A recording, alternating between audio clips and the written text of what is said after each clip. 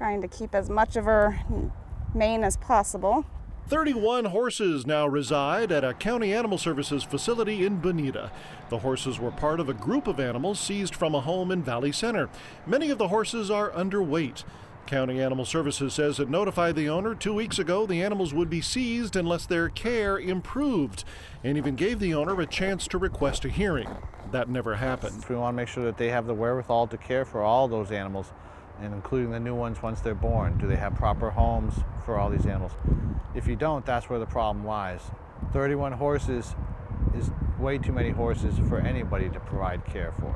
It's the department's position that we're going to do everything we can to save these horses. It's going to take a lot of work to get them back up to weight, get their hooves trimmed, get all the proper veterinary care, but these horses deserve that chance. Along with the horses, three llamas, four miniature cattle, five geese, and one dog were also seized. In the County News Center, I'm Michael Russo.